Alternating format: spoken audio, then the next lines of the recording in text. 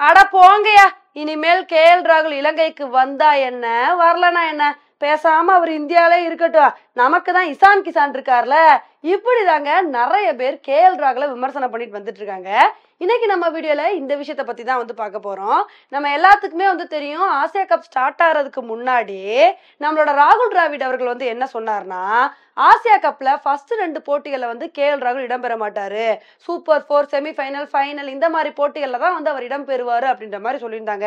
அப்பவே நிறைய கிரிக்கெட் ரசிகர்கள் வந்து என்ன சொன்னாங்கன்னா ஆமா இப்படியே அவரை பொத்தி பொத்தி வச்சுதான் இந்த நிலைமையில வந்து இருக்காரு. இன்னும் வந்து டைரக்டா அவரை சும்மா சாதாரண போட்டிகள் இறக்காம பெரிய பெரிய போட்டிகள்ல வந்து இறக்குனீங்க அப்படின்னா ரொம்ப சிரமமா வந்து போயிரும்னு சொல்லிட்டு நிறைய பேர் இந்த ஒரு விஷயத்துக்கு விமர்சனம் வந்து பண்ணாங்க. இப்போ இந்த சமயத்துல தான் என்ன நியூஸ் வந்துகிட்டு இருக்குன்னா கே எல் ராகுல் அவர்கள் வந்து ஸ்ரீலங்காவுக்கு கிளம்பிட்டாரு. ஸ்ரீலங்காவுக்கு போய் அங்க உள்ள நம்ம இந்தியன் கிரிக்கெட் டீம்ல வந்து இன்க்ளூட் ஆக போறாரு. இது மூலமா அடுத்து வர இம்பார்ட்டன்ட் போட்டிகள் எல்லாத்துலயுமே சூப்பர் ஃபோர் போட்டிகள் எல்லாத்துலயுமே கே எல் ராகுல் இடம்பெறதுக்கான வாய்ப்புகள் இருக்கு அப்படின்ற மாதிரி ஒரு சில நியூஸ் வந்துகிட்டு இருக்கு. இதுக்கு தான் கிரிக்கெட் ரசிகர்கள் எல்லாருமே என்ன கருத்தை வந்து பதிவு பண்றாங்கன்னா இத பாருங்க நீங்க யார வேணா டீமுக்குள்ள கொண்டு வாங்க இசான் கிசானை மட்டும் வெளியே அனுப்புனீங்க. அப்புறம் டென்ஷன் ஆயிருமா பாருங்க.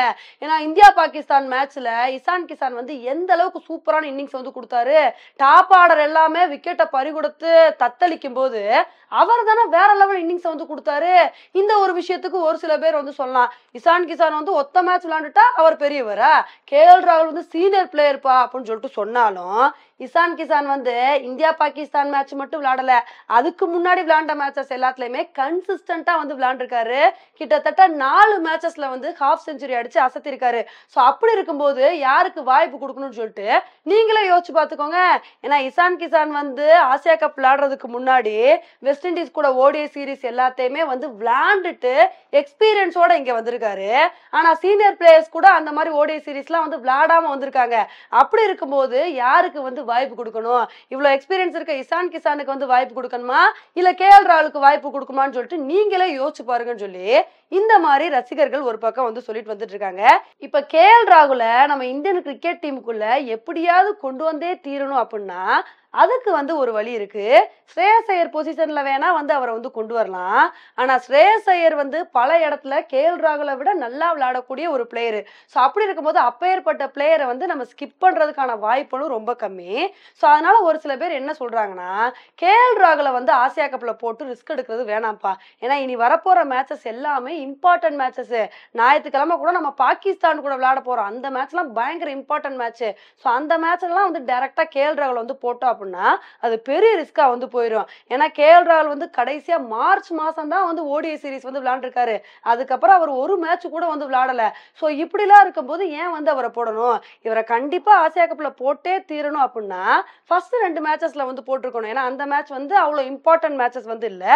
அதுல வந்து போட்டு அவரோட பெர்ஃபார்மன்ஸை பார்த்து அடுத்தடுத்து அவருக்கு வாய்ப்பு கொடுத்தா பரவாயில்ல.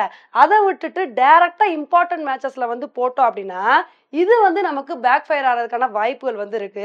ஸோ இதனால தான் கே எல் ராகுலை பத்தி நிறைய பேர் வந்து விமர்சனம் பண்ணிட்டு வந்துட்டு இருக்காங்க. இருந்தாலும் நம்ம இந்தியன் கிரிக்கெட் டீம் வந்து இப்பவே பல மிஸ்டேக்ஸை வந்து ரெக்டிஃபை பண்ணணுங்க. ஏன்னா இந்தியா பாகிஸ்தான் மேட்ச்ல வந்து என்ன ஆச்சுன்னு பார்த்தீங்கன்னா டாப் ஆர்டர் விக்கெட்ஸ் வந்து அவ்வளோ ஈஸியாக வந்து போயிருச்சு.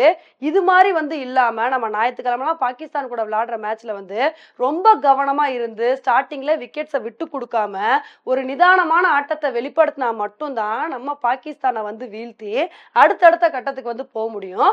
இல்ல அப்படின்னா ரொம்ப சிக்கலா வந்து போயிடும் ஓகே ஃப்ரெண்ட்ஸ் இந்த ஒரு விஷயத்தை பத்தி நீங்க என்ன நினைக்கிறீங்க அப்படின்றத என்னோட கமெண்ட் செக்ஷன்ல வந்து போடுங்க. இதே மாதிரி இன்னடியில் உங்களை வந்து மீட் பண்றேன். Bye friends